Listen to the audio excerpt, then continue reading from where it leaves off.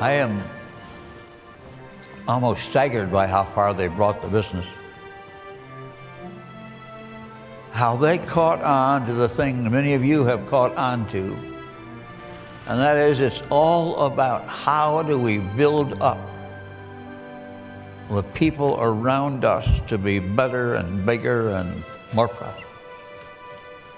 And when we do that, all the rest of it side up seems to fall in place. It isn't about how much we can make. We make a lot, however. That's not the point. If we make a lot and they don't, then it's not a good deal. And these guys make sure the balance is right.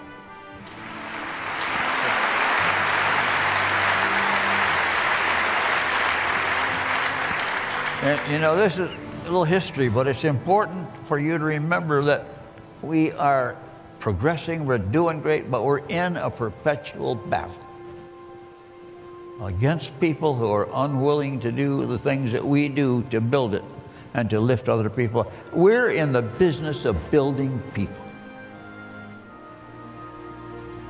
And you know,